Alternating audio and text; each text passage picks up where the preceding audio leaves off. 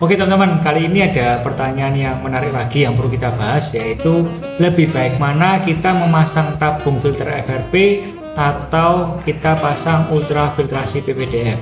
Bagi teman-teman yang belum tahu apa sih tabung filter FRP dan apa itu ultrafiltrasi PVDF, ini saya tunjukkan ya. Ya, yang pertama saya tunjukkan ini adalah ultrafiltrasi PVDF di mana ultrafiltrasi PVDF ini mempunyai kerapatan penyaringan 0,01 mikron sehingga bisa menyaring endapan atau sedimen dari air kotor ini menjadi air sejernih ini. Ya, yang dinamakan filtrasi PVDF yang ini ya teman-teman. Sedangkan tabung filter FRP adalah tabung seperti ini. Nah, tabung ini bisa diisi berbagai macam media, baik itu silika, karbon, manganis, ginseng, dan media lainnya. Fungsinya bermacam-macam, juga bisa mengurangi endapan, dan juga bisa menyaring zat kimia lainnya seperti bau, kuning, atau zat besi, dan yang lain-lain. Jadi berdasarkan pengalaman kami, filtrasi yang benar itu adalah urutannya dari penyaringan yang paling besar dulu dan kemudian menuju yang paling rapat. Oleh karena itu, seperti di video saya sebelumnya, kami pasti menyarankan teman-teman pasang tabung filter FRP dulu, lalu ultrafiltrasi PVDF apalagi jika airnya tuh terlalu jelek dan terlalu kotor.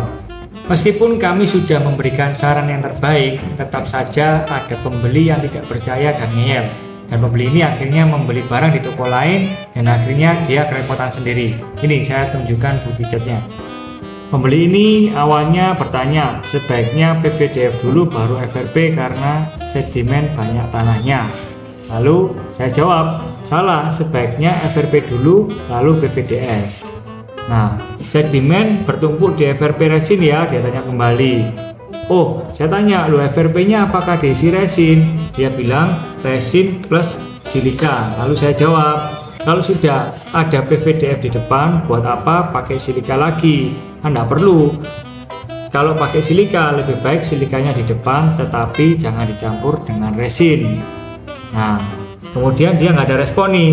Saya nggak tahu, kemudian dia beli di tempat lain karena kemudian di tempat lain diberikan janji-janji manis. Dia bilang, oh PVDF boleh lah, pakai PVDF aja sehingga praktis, sehingga ekonomis, nggak perlu tabung FRP lagi. Nah lalu dia setelah beberapa hari dia tanya seperti ini, siang setelah terpasang hanya tiga harian sudah mampet dan harus cuci lagi.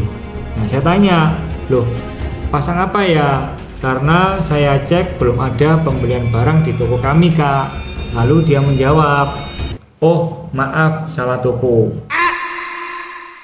Jadi teman-teman tidak ada salahnya jika ingin merancang filter air yang praktis dan ekonomis, tetapi perlu diketahui bahwa semakin jelek airnya atau semakin kotor airnya, otomatis diperlukan biaya yang semakin mahal untuk mengelola air tersebut. Oke, jadi kesimpulannya adalah lebih baik mana tabung filter FRP dengan ultrafiltrasi PVDF.